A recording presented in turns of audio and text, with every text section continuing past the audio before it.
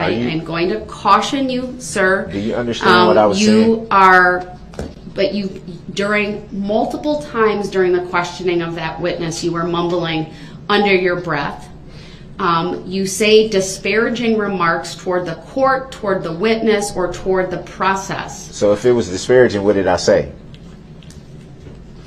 Sir, Because you say things like it's not fair, or you go, you make noises that suggest like you're disgusted with the ruling that is made. So you're assuming what I mean by that, and when did I say Mr. Brooks, I'm fair? just making a record because yeah, it's you're, important you're making an that incorrect record. it's important that you demonstrate courtesy and decorum through these proceedings and that you give respect to the witnesses who are testifying in the process. Um, Did the you- witness feel disrespected?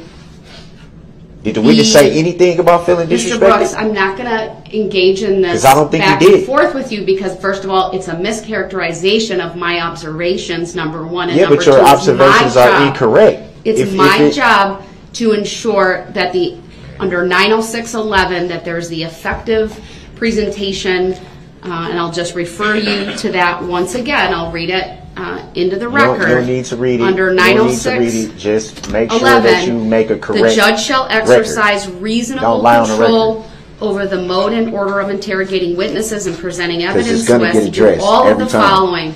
Make the interrogation and presentation Every time. effective for the ascertainment of truth, avoid needless consumption of time, protect witnesses from harassment or undue embarrassment.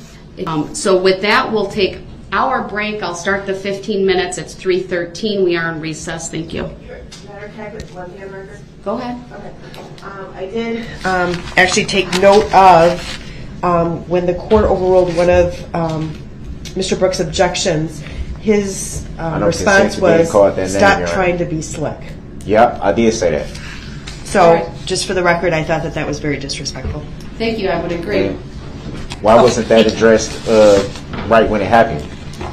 Honestly, Mr. Brooks, I'm really trying hard not Because to that, that's highlight the, your that's the definition of trying to misconduct be slick. during the trial. I'm trying my best here to I don't see frankly that. minimize I don't pointing see those it. things out to the jury and instead I pointing don't them it. out outside the presence of the jury. You may have noticed I've even started to say I'd remind the jurors that the comments of the parties or the attorneys are not evidence so as to cast a broad brush and not simply highlight your conduct. I haven't noticed anything, and I, Um, but, all right, we're in recess. What Thank you. conduct It's you referring to?